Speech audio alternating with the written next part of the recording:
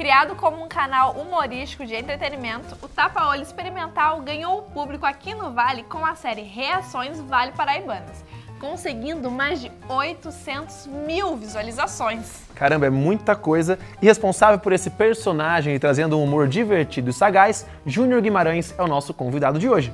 O Rebuliço Cultural começou. Bem-vindo,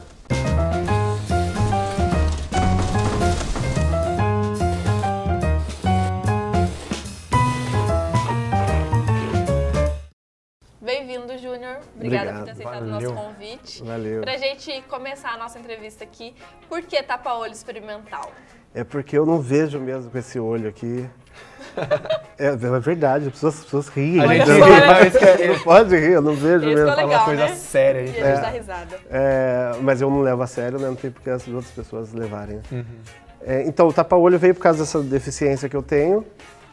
E um tempo atrás eu queria montar um, um- um blog é, com brincadeiras aqui do Vale, só que com fotos, não como agora com vídeos. E aí me veio esse nome, foi o primeiro nome que veio, Tapa-Olho Experimental, porque eu gosto de experimental no, no sentido, eu sou músico também, e, e música experimental sempre me agradou. Legal. Então o nome experimental dá um... Oh, Dá uma força, É. né? o que, que é esse negócio aí, né? contemporâneo, É, né? conceitual, deve ser interessante. e funcionou, né? Muitas pessoas entram lá achando que é alguma coisa boa, e não é, é isso aí que você vendo. Mas aí você teve a ideia de, a partir disso, criar o canal no YouTube. Então o vídeo teve repercussão, você falou que é de vez vou criar vários vídeos semanais. É, então, porque eu fiz esse vídeo para divulgar o blog e o vídeo acabou repercutindo mais do que o próprio blog. E aí com esse vídeo a galera começou a pedir, não, faz outro, e assim foi começando a tomar, crescendo, né? Tomando a proporção que, que chegou hoje aí, que é pequena ainda, mas a gente tá aqui, né? Pois é, então. legal. E como é a sensação de você ver aquela quantidade de visualizações que você tem no- nos seus vídeos no YouTube? Porque quem faz vídeo pro YouTube sabe que às vezes demora um pouquinho, né? pra É, uma hora, demora de- bastante. A gente tá há quatro anos já né, brincando É. com isso. E agora sim, do, do ano passado, setembro do ano passado, que começou a crescer mais. Uhum. A gente tinha uma média de 5 mil views antes, agora já bate em média 50 mil. Olha, Então tá cada vez crescendo mais. É meio louco, cara. Você não, números no Facebook, rede so- social, ele não pesa muito assim. Lógico que ele pesa para você divulgar, para o É. pessoal ir atrás. Mas assim, no, no- no sentimento mesmo, você fala 20 mil e tal, mas você não tem muita noção da, da, da- É, da proporção porque 20 disso. mil pessoas estão vendo seu trabalho, né? É, é, é, cinco mil vezes sou eu mesmo e uma turma minha. Mas é, é, o que é mais louco é quando você sai mesmo na rua e você vê a repercussão da galera Nossa, com você foi na rua. Isso é muito louco. E você já foi reconhecido? Sim, tá rolando bastante, é muito louco isso. Aí você vê que, a- que, que a parada alcança muito, muitas pessoas de, de tudo quanto é classe, gênero, as pessoas, crianças, sabe? Tem criança no que chega. Eu, eu tava na frente de casa esses dias, é, recebendo telha lá, que estou reformando minha casa, precisando muito de dinheiro, aliás, os patrocinadores dar aquele toque pra gente. É, aí passou um molequinho assim de 10 anos, assim, olhou assim, aí ele eu olhei assim, cumprimentei com os olhos, ele saiu, daqui a pouco ele voltou. Oi, moço. Com o olho, no caso. Com, com um olho, né? Ele falou, moço, posso tirar uma foto com você? Eu falei, que isso, mano? Eu, claro. E a cabeça assim, esse moleque tá querendo tirar foto comigo, como é que você conhece eu, da onde? né? E, e é muito louco. E senhores também, Olha que legal. é brincadeira, cara. Então isso, isso que é o mais louco mesmo, quando é o, o pessoal mesmo, o As contato. crianças né? assistem, assistem muito vídeo no YouTube. Nossa, Eu muito. tenho dois irmãozinhos que se deixar, eles passam o dia inteiro vendo vídeo no YouTube. Pois é. E Minecraft também tem tomado uma repercussão muito grande. Você assiste? Tem, eu Você costuma consumir conteúdo do, do YouTube também? Sim, sim, sim, pouco, mas sim.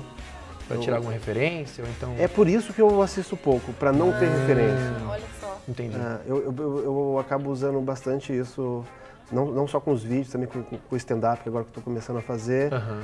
Eu tento não ver muito o que está rolando. Acho legal você estudar, mas você estudar da onde esses caras estudaram também, né? Legal. Tipo, vamos pegar Você o... faz um roteiro para os seus vídeos? Como é que, como é, que é o processo de produção do- antes de, de gravar o- os vídeos? É, então, é, sou eu e o João Juste, né? Que é o, o parceiraço que está desde o começo lá comigo também. E nós dois que fazemos roteiros, que editamos, é tudo nós dois, só que, que faz tudo essa parada aí. Aham. E o roteiro, ele é, é, uma- é- é uma necessidade e muitas vezes é inspiração mesmo, né? A gente tem essa parada de toda quinta-feira colocar um vídeo novo, com um tema novo. Uhum. É, muitas vezes o tema tem que ser atual, né? Atual manifestação está rolando. Então vamos colocar um vídeo Claro. sobre o manifesto. É, e, muitas, e muitas vezes é de uma ideia que bateu assim, ah, vamos fazer, tem essa ideia maluca aqui que pode dar certo. Que é um, um dos casos foi o, o, o da caixa, do- da cesta básica lá, dos, dos bichinhos saindo lá, os bichinhos, né? Os, os produtos lá, e não teve nenhum merchan, já fica claro para todo Olha. mundo. Ninguém pagou nada pra gente aquilo lá, a gente fez porque a ideia surgiu. Meu Deus do céu, nossa, eu preciso de uma geladeira logo. Já chegamos aqui. Já, onde que é aqui? Aqui é, é São José? É Taubaté? O que, que é aqui? Quer dizer, tô, tô, tô, tô um pouco receoso de descer aí, porque a gente não conhece muito, né? Vou ficar por aqui mesmo. Tá de boa aqui, Tayada. Cadê o Jacareí? Ô, ô, Bolinho Caipira, cola aqui, velho. Calma aí, velho. Tá acelerando, mano? Tô fazendo umas paradas aqui, ó. Deixa eu subir. Ai, agora. sim. Ô, gente, o menino lá de Jacareí tá roubando sabonete aqui dentro. Olha, não quero ser fofoqueiro. E cara, você tem esse lance de fazer as piadas com é, as reações vale paraibanas, com gírias e tal. Já sofreu alguma crítica por isso, por mexer com estereótipos? Teve só um cara só que, que, que, que falou, mas ele não falou nem do, do estereótipo assim do, do vale. Ele falou sobre por eu usar uma dentadura. Aí o cara falou, ó, não entra nessa onda aí, senão você vai ficar parecendo Caceta e Planeta, vai ficar parecendo. Eu falei, que legal parecer Caceta e Planeta. É. Eu pensei, mas tudo bem. Mas ele criticou então, sei lá, a vertente que estava indo no seu trabalho, Isso, não eu acho que a linha, o, o motivo. conceito usado de humor para se fazer aquilo, Aham, né? Entendi. Então acho que foi esse que é o ponto que ele, que ele criticou. Uhum. Mas ah, não- não- a gente tem uma aceitação muito grande, assim. Isso é muito legal. É, eu- pouquíssimas pessoas assim que, que chegou a ter algum contato de comentário ou pessoalmente que falou que não gosta ou Se sentiu ofendido de É. alguma forma, né? a maioria não, eu- a maioria não. Eu fico muito feliz com isso daí, cara, porque é, é muito louco você fazer humor. Em nenhum momento você quer desagradar alguém. Uhum. Mas a gente sabe que a gente vai desagradar alguém. É, Felizmente, eu queria que não, cara. Eu queria que todo mundo gostasse, quem não achasse engraçado, ficasse quieto e vai assistir o Zorra mas a Total, vai assistir o Porto dos Fundos, vai ver outra coisa, né? Porque é ruim, cara, é muito louco. É ruim quando você vê uma crítica, pô, que sacanagem. Dá vontade de ir lá, no- sentar do onde você mora, mano. Vamos aí. Tomar uma cerveja ali, cara. Por que, que você não gostou? Não era pra ofender. mas você sabe? costuma ler os comentários do YouTube? Leio quase todos, cara. Sério, cara? Tem gente que Comento prefere... todos. Olha só. Olha só. Eu É perco. porque tem gente que prefere nem ler né, os É. comentários com É. medo das críticas. Eu acho que vai chegar um momento, espero que chegue, esse- não espero que chegue esse momento de, de, de não ler, mas eu acho que vai chegar porque você não tem mais Aumenta controle, né? Aumenta. então eu espero sim. que aumente o número Sim. de comentários. Agora, por, por exemplo, tem uma média assim de, de, sei lá, 500 a 1000 comentários. Então até uns 300 ali eu ainda, os primeiros ali eu ainda vou, né? Mas depois já não dá porque eu, eu tenho uma vida, eu tenho dente pra escovar, Claro. eu tenho tatuagem pra fazer. Outras coisas, né, pra fazer. E a gente foi, né, num colégio da Univap perguntar sobre gírias pro pessoal. E a gente vai ver agora o que, que eles falaram. Legal.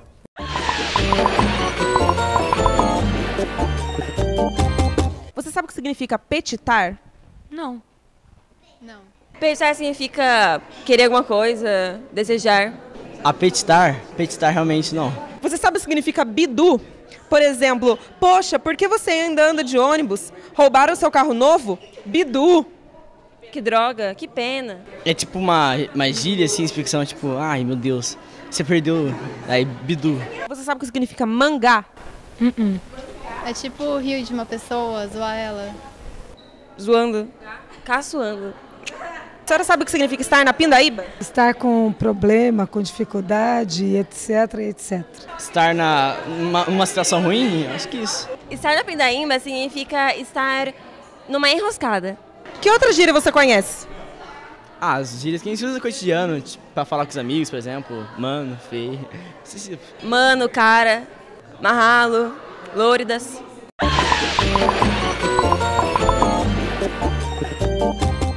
Você conhecia alguma dessas gírias aí? Eu não conhecia lôridas, por exemplo. É, lo, ó, lôridas significa, quer ver? Tchau. Tchau, essa eu não conhecia. O mangá também eu não, não conhecia. É, mangá é Eu caçoar. conheci o manguear. Manguear? Manguear. Sério, é uma Manguear. variação. O que, que significa? Manguear é você chegar no cara e ficar pedindo as coisas pra ele. Não, dá um cigarro aí, dá um, dá um gole aí, dá, dá esse Ah, salgadinho aí, você tá entendi. mangueando, cara. Né? Mangueando. Mangueando. Mangueando. Mangá é tipo caçoar de alguém. já. É, olha só, já tem uma outra vertente aí, né? É. O pessoal de casa não ficar muito perdido aí, ó. Petitar é aceitar. Bidu é o cara adivinhão. Mangá é caçoar. Pindaíba é sem dinheiro. Acho que o pessoal já tá ligado nisso aí. Bidu, Bidu, a galera de Tremembé usa muito. É mesmo? É. Lá, lá que eu fiquei sabendo dessa gíria aí e, e, e como nesse, nesse, estudo, né, que a gente faz de gírias, eu, eu peguei um amigo falando, Bidu, se não. Eu Oi? ia te perguntar, como Que é que foi? você fica sabendo das gírias, né, do Vale? É, São influências de vários amigos mesmo, como você tá É, falando? o- o- os personagens que, eu- que a gente faz no, no, no Tapa-Olho, eles são baseados em, em amigos mesmo dessas cidades.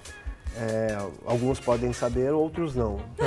outros eu acho que a mãe não pode saber, né? Eita. Entendendo?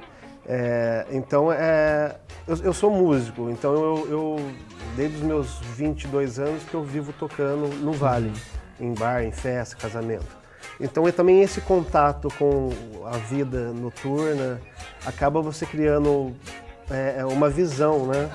Sobre a, a forma que as pessoas falam, como elas se vestem, como se comportam, né? É, mas os amigos, assim, eles são os, os principais, assim, espelho para Principalmente pra esse- nesse caso de, É, de gírias. de gíria. aí. O, o Bidu, senão, é, tem o timbó lá em, lá em Tremembé, eles falam. Essa mina é mó timbó. Bom, a gente vai saber no próximo bloco, então você conta pra gente o que é timbó. timbó. E aí? Vamos Isso pro aí. rápido intervalo e a gente volta já já. Não sai daí não.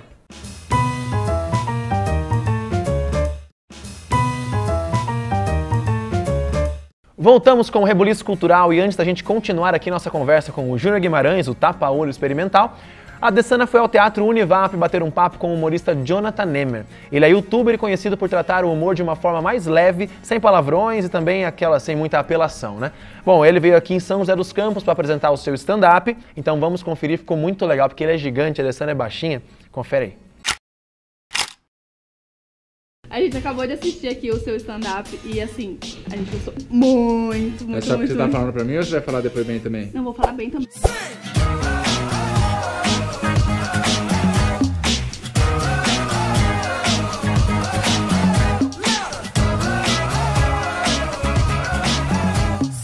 É a sua primeira vez em São José dos Campos e como é que Minha foi? primeira vez aqui, foi minha primeira vez.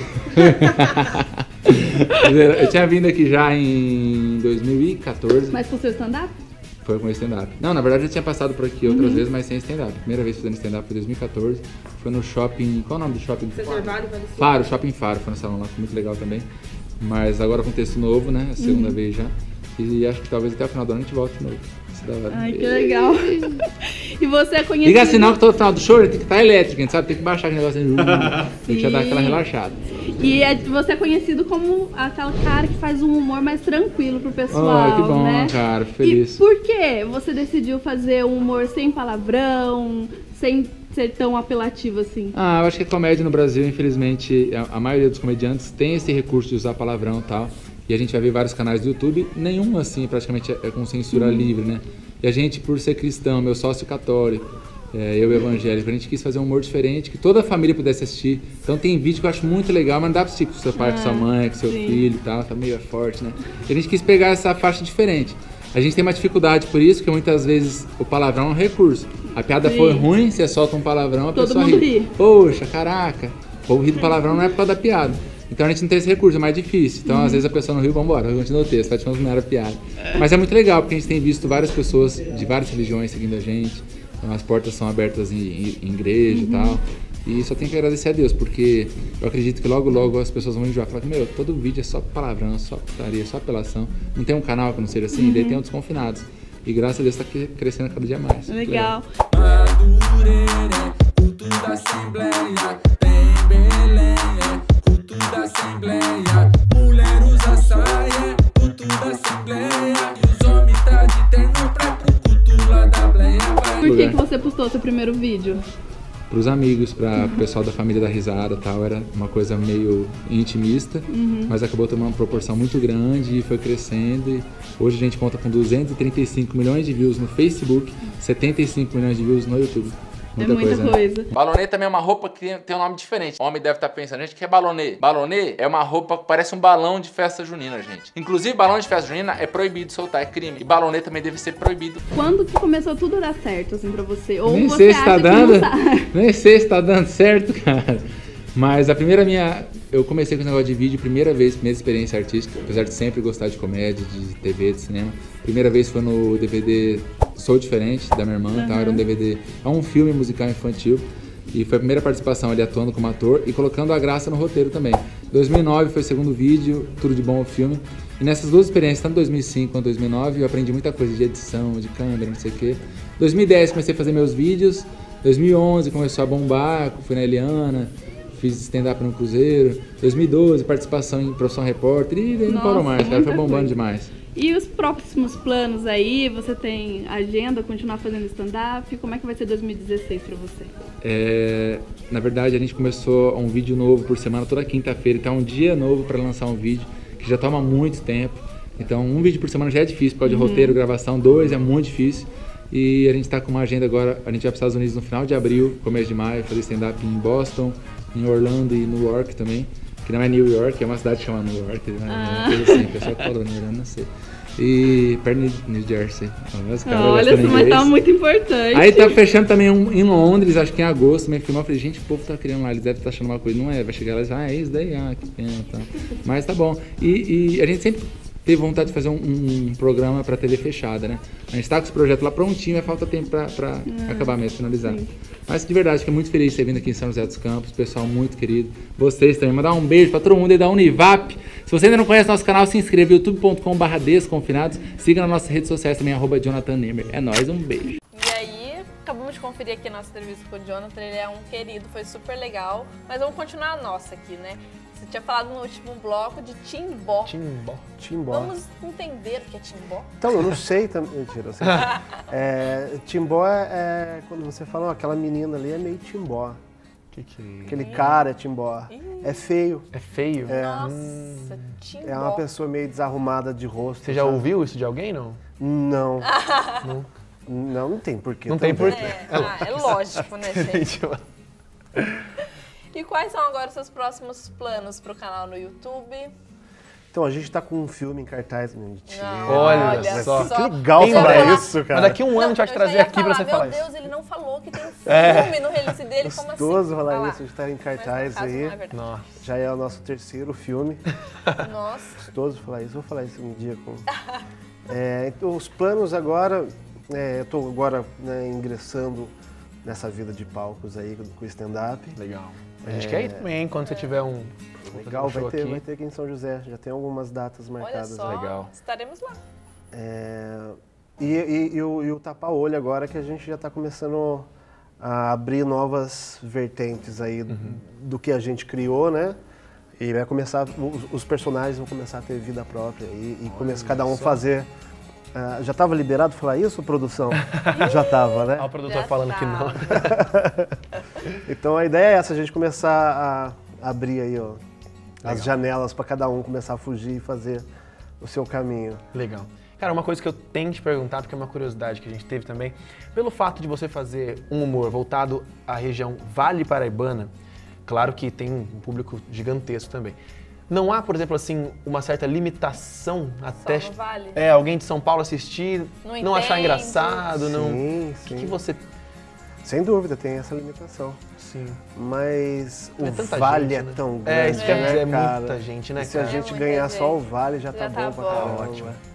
E com É. certeza já tá ganhando e vai. E, e que outras pessoas é, assistam e vejam o Vale, né? Que o Vale Sim, fique só Pois é. das É. pessoas, né? É, com, com esse, com esse fundo aí cultural também, poxa, é muito prazeroso estar fazendo isso, você tá Uhum. colocando Uhum. os nossos trejeitos, Sim. Verdade. as nossas comidas, os lugares, é, é tudo muito nosso. Uhum. Então, a gente falar pra gente mesmo, porra, é- é- eu acho isso muito interessante, né? É, modéstia à parte, É, eu gostaria de ver isso com, em outras áreas também, sabe? Aham. Em que as pessoas. Que, um- que uma peça teatral também seja falando do Vale, que de- com certeza deve ter aí que eu, que eu desconheço. Mas é um- uma, uma peça coreografada, uma dança pensada no Vale. Coisas daqui, né? É, eu acho as pinturas, tem, tem também, tem vários pintores aí que retratam o Vale. Eu acho que todo o lado artístico, assim como, como Renato Teixeira fez, que, que, que lançou ele pro, pro Brasil, foi porque ele começou a cantar coisas daqui. Né? Até hoje ele canta coisas daqui, que é coisa Uhum. dele. Acho que ninguém tem, tem tanta propriedade para falar do seu lugar como você mesmo, né? Sim. Então, eu- eu acho isso bacana e, e a gente está muito feliz em estar fazendo esse. Dar uma. uma levantar um pouquinho a moral nossa aqui Legal. pra gente mesmo e o resto do Brasil que se. seja feliz. Que conheça, né? Que se, que se seja feliz. Sabe? Legal, cara. E você tá- comentou também que você é músico, né? Como é Sim. que fica a agenda? Pra você só Então- fica, tá com o YouTube? Não dá Ou- pra fazer nada, cara. Eu não tô, tô fazendo tudo mal feito, cara. Ixi. Tá tudo muito ruim. A agenda não, não, não aparece pra mim. É muito difícil. É. muito difícil. Eu tinha que escolher uma coisa só. Mas não dá. Não dá, tem que fazer tudo de uma vez mesmo. A música, a música tá ficando um pouquinho mais de lado, assim, porque o tapa-olho tá, tá me trazendo mais alegrias, assim, eu diria assim. Uhum. Apesar que a música também já, já me trouxe muitas alegrias. Só que eu acho que o momento é. Eu sou geminiano, né, cara?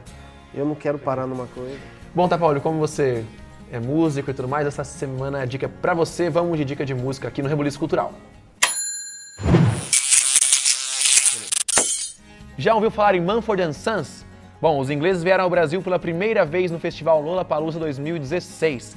A música I Will Wait é uma das mais conhecidas pelos fãs, mas também o repertório da banda é bem conhecido pelo público brasileiro. I Will Wait tem uma pegada indie rock e vale muito a pena você conferir. Vamos ouvir um pouquinho.